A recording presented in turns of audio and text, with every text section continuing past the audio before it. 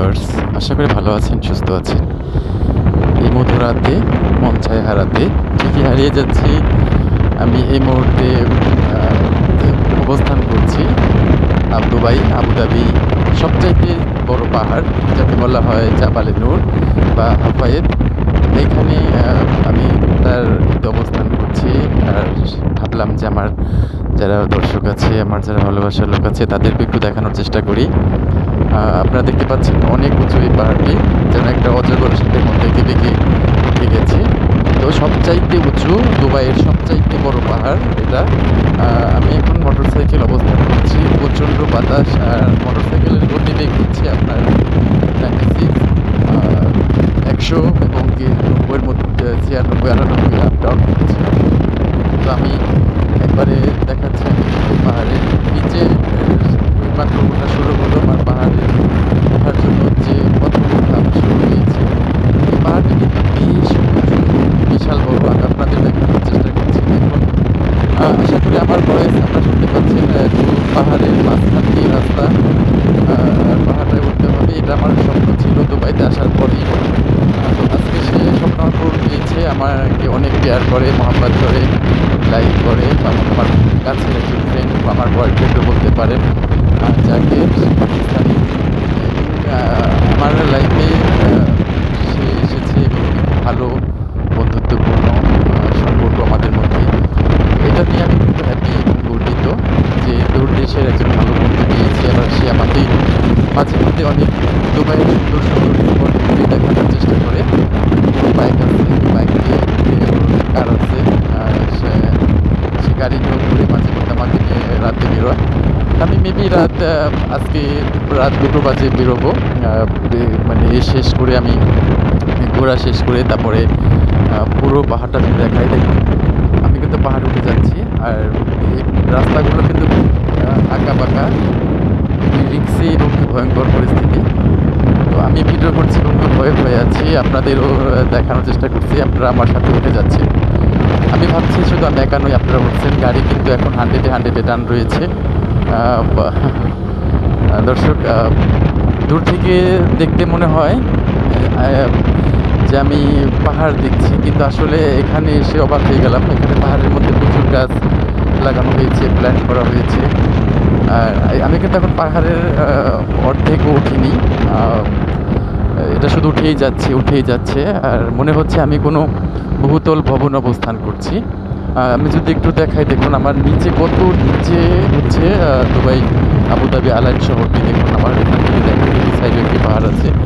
আর এখানে কিন্তু প্রচুর দর্শনার্থী রয়েছে। দর্শক আছে যারা ঘুরছে ফিরছে। দেখুন আপনি পাহাড়ের সেকেন্ড ধাপ গেছি সেকেন্ড ধাপ থেকে এখানে গাড়ি পার্কিংয়ের জায়গা আছে। দর্শকরা এখানে দেখছেন বিভিন্ন কান্ট্রির বিভিন্ন মহিলা দর্শকও রয়েছে। Wow so nice beautiful and আসলে মনোমুগ্ধকর পরিবেশ দর্শক আপনাদের আমি বলে বোঝাতে পারব না, বা কতটা উৎফুল্ল, আনন্দিত আমি। তো যে কথা বলছিলাম তাকে পেয়ে আমি খুবই ধন্য। আমি তারই সামনে খুবই নগণ্য। সে খুবই অনেক ভালো মানুষ। সে কিন্তু আপনাদের সামনে লাইভে আসবে না। আমি অনেক রিকোয়েস্ট করি। দর্শক, আমি যদি দেখাই পুরো এখান থেকে কিন্তু পুরো দুবাই শহর কাভার করা যাচ্ছে না আবুধাবি আলাইনে। শুধু দূর থেকে লাইট আর লাইট দেখা যাচ্ছে। আমি কিন্তু অনেক উঁচুতে অবস্থান করছি এখন বর্তমানে। এই সাইডে আর একটা পাহাড় রয়েছে দেখতে পাচ্ছি বেশ উঁচুতে আমি অলরেডি উঠে গেছি দর্শক। ভালো। আর পাহাড়ের দুই সাইডে কিন্তু, এটা কিন্তু পাহাড়ের মাঝখান দিয়ে রাস্তা, আর উঠেই যাচ্ছি উঠেই যাচ্ছি, শেষ হচ্ছে না। তো আমার মনে হয় আমি আজকে, আর যদি আমি এখন কিন্তু সেকেন্ড ধাপে আছি, যদি এখান থেকে আপনাদের দেখাই, দেখুন কত উঁচুতে শেষ চূড়া। আমি ওই যে লাইটগুলো দেখতে পাচ্ছি, ওখানে পৌঁছাবো। যদি এখান থেকে একটু ঘুরিয়ে দেখানোর চেষ্টা করি দর্শক। দেখুন এঁকে বেঁকে এই রাস্তা চলে চলে যাচ্ছে। বেশ বড় অজগর সাপের মতো, শুধু বেয়ে উঠেই যাচ্ছি উঠেই যাচ্ছি। আর এখানে অনেক আরবি এবং বিভিন্ন কান্ট্রির লোকজন এই পাহাড়ে ঘুরতে আসে। আর সবচাইতে বড় মজার বিষয় হচ্ছে, এটা হচ্ছে দুবাইয়ের সবচাইতে যে বড় পাহাড় অবস্থিত আলাই জাবালে আহমেদ বা জাবা, জাবাল অর্থ হচ্ছে আরবি ভাষায় পাহাড়।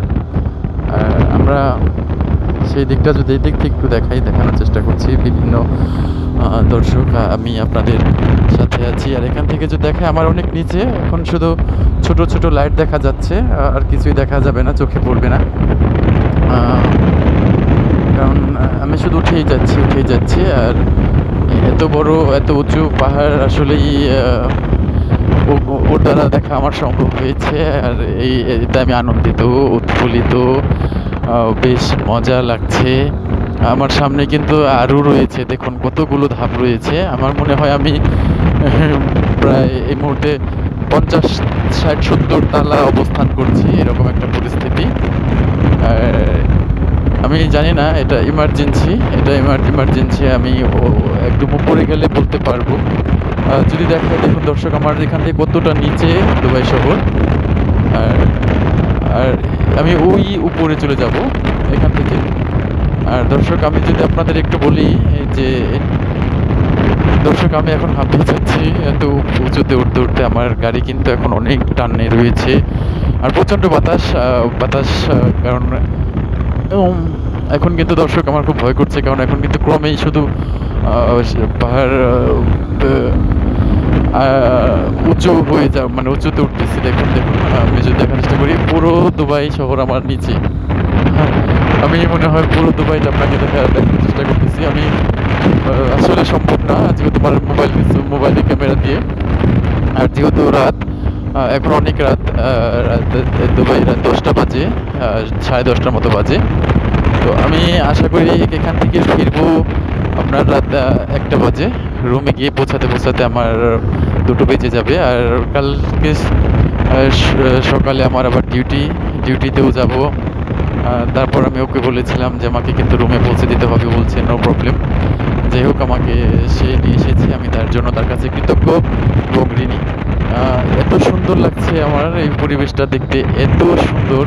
এটা আসলে আমার লাইফে অনেক বড় একটা পাওয়া। যে আমি তো অন্যও অনেক দেশে বিভিন্ন জায়গায় ঘুরেছি, কিন্তু এটা আমার মনে হচ্ছে আজকে যে এটা আমার সবচাইতে বড় অবজারভেশন এবং বড় একটা নতুন একটা জিনিস দেখা, নতুন একটা। বাংলাদেশ আমি বহুত পাহাড় ঘুরেছি, রাঙামাটি, বান্দরবন বিভিন্ন পাহাড়ে সীতাকুণ্ড তারপরে আপনার বৌদ্ধ মন্দিরে উঠেছি, বিভিন্ন পাহাড়ে উঠেছি। কিন্তু সেই তুলনায় নীলগিরি, নীলাচল যে পাহাড়ে উঠেছি, তার চাইতে আমার কাছে মনে হয় যে না হলেও দশ গুণ উঁচু হবে। নীলগিরি, নীলাচল চাইতে দশ গুণ উঁচু এবং কি প্রায় দেড় ঘণ্টার সময় লাগে। পুরো আমরা কিন্তু মোটরসাইকেল আছি। মোটামুটি অলরেডি আমার বিশ মিনিট চলে গেছে পাহাড়ে উঠতে। একা আর যদি দেখাই। দর্শক আমরা ওই উপরে লাইটের কাছে চলে যাব। আমি হাঁপিয়ে যাচ্ছি গাড়িতে বসে থেকেই আর নিচ থেকে দেখা, উপর থেকে দেখানোর চেষ্টা করছি। আমি কিন্তু পুরো টাইমটা আপনাদের সাথে আছি। এবং কি মাঝে মধ্যে আমি ভিডিও অফ করে নিজে একটু দেখার চেষ্টা করছি। তো আপনারা ভাবতে পারেন যে সাগর ভাই বলতেছে যে বিশ মিনিট সময় লাগে। উনি কিন্তু ভিডিও তো আট মিনিট। আসলে আমি পুশ দিয়ে দিয়ে আবার ভিডিও ওপেন করছি। আসলে এখান থেকে দেখানো সম্ভব নয়। দেখুন, কত নিচে আমার আমার বহুত নিচে। যেখানে দেখে, এখান থেকে বড় বড় বিল্ডিংগুলো মনে হচ্ছে পুরো ছোট ছোট যে খেলনা ঘর সেই খেলনা ঘরের চাইতেও ছোট মনে হচ্ছে। আমরা কিন্তু ওই উপরে যে দেখতে পাচ্ছেন, ওখানে যাব। আর ওখানে যেতে হলে আমাদের আরও অনেকটা পথ পাড়ি দিতে হবে। আর এই পথ পাড়ি দিতে আমার আসলে কোমর ব্যথা হয়ে যাচ্ছে বসে থেকে। আসলে আল্লাহ তালার অশেষ কুদরত এবং রহমতের একটি নিদর্শন দেখতে পেলাম। আল্লাহ তালা এত সুন্দর সুন্দর দৃষ্টিনন্দন মানুষের জন্য, দেখার জন্য যে তার সৃষ্টি যে কতটা সুন্দর সেটা দেখানোর জন্য আল্লাহ আসলে এই পাহাড় পর্বত যত কিছু সৃষ্টি আল্লাহ, সেটাই আসলে তাহলে আল্লাহ তাল্লাহ যে কত সুন্দর সেটা অকল্পনীয়, যার তুলনা হয় না সেটা বলাও যায় না। তার তুলনা সে নিজেই এবং তিনি সকল সৃষ্টির মালিক। আল্লাহর দরবারে লাখো লাখো শুক্রিয়া এবং প্রশংসা জানাচ্ছি যে আমি এই মুহূর্তে তার একটি সৃষ্টি, অপরূপ সৃষ্টি আমার দেখার সৌভাগ্য হয়েছে, আমি দেখছি। প্রচুর দর্শনার্থী ফরেন আরবি এবং বিভিন্ন স্পট থেকে যারা এসেছেন, ঘুরছেন, দেখছেন, এখানে কিন্তু ক্রমে ক্রমে এখানে আবার পাহাড়ের মধ্যেও সুন্দর কারুকার্য করা, নকশি করা জিনিস রয়েছে।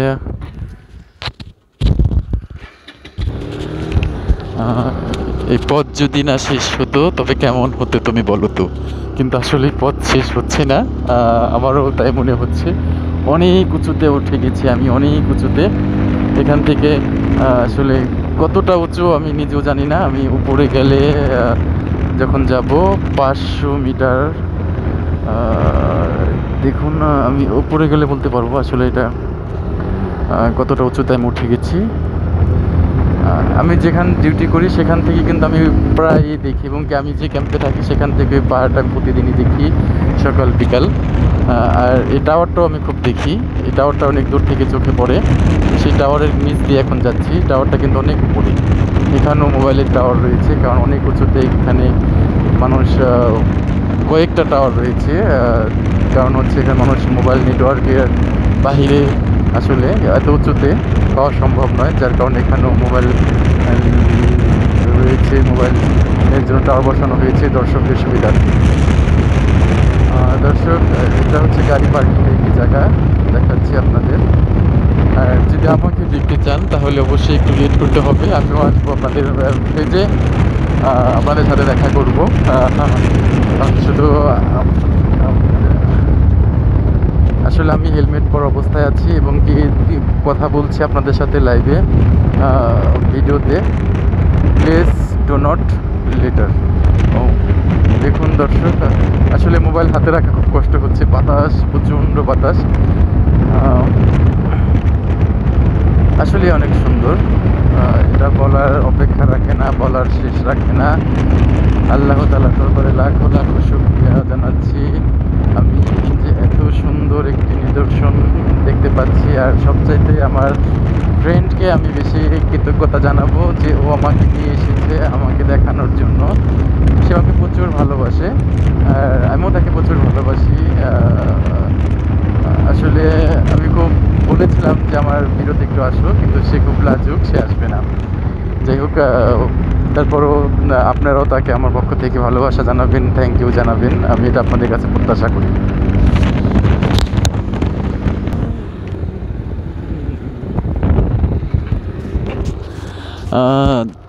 দর্শক, একেবারে শেষ প্রান্তে চলে এসেছি।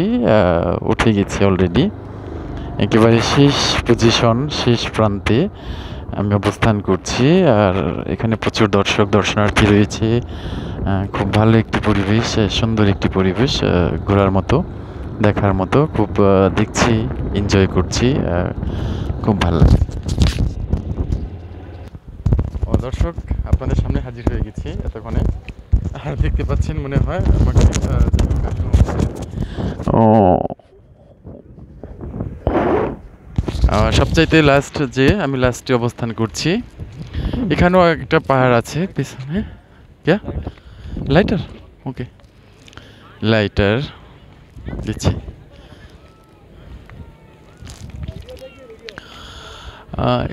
এটাই কিন্তু লাস্ট নয় যে পিছনে কিন্তু এই পাহাড়ের উপরেও পাহাড় রয়েছে বিশাল পাহাড় মানে ও পর্যন্ত যাওয়া অনেক কষ্টকর। ওখানে গেট বন্ধ যে আপনি দেখতে পাচ্ছেন।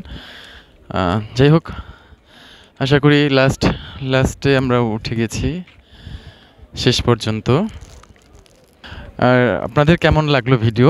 যদি ভালো লাগে, অবশ্যই আমাকে কমেন্ট করে জানাবেন। আর আপনাদের জন্য কিন্তু আমি সবসময় কিছু না কিছু ভিডিও করার চেষ্টা করি, কারণ আপনাদের পাশে রাখার, ভালোবাসার দেওয়ার চেষ্টা করি। অবশ্যই আপনারা আমাকে ভালোবাসা দেবেন। সে প্রত্যাশা কিন্তু আমি সবসময় করি। আর আমার ফেসবুক এবং কি পেজে আপনারা সক্রিয় থাকবেন সেই প্রত্যাশা সবসময় আপনাদের জন্য। এখানে প্রচুর পরিমাণে গাড়ি রয়েছে। আর দুবাই সরকার যে প্রচুর পরিমাণে বিলাসবহুল এবং কি সৌন্দর্যের নিদর্শন তৈরি করে রেখেছেন সেটা কিন্তু দেখলেই বোঝা যায়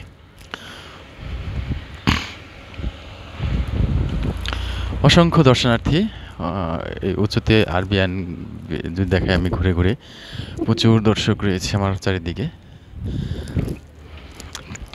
কিধার যায় তুমি लास्ट में उधर सीन है नीचे देखो ও আচ্ছা ওকে নো প্রবলেম হ্যাঁ हाँ?